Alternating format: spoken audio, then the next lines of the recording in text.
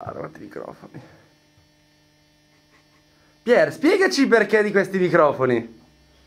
Vogliamo ottenere un suono, diciamo, più cristallino, più saturato, eh, più definito della batteria, un'immagine, come dire, verosimile, non proprio rock, ma abbastanza, come posso dire? Col pugno.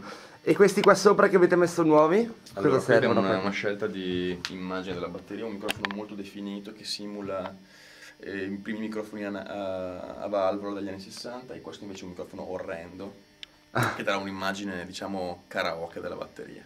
Wow, Quindi in caso vogliamo una scelta di due mondi, dei due mondi. Sempre con i due panoramici qua sì, sopra. certo a nastro giustamente perché nastro, Eh, è meglio. vogliamo ovunque il nastro. Lo vogliamo ovunque.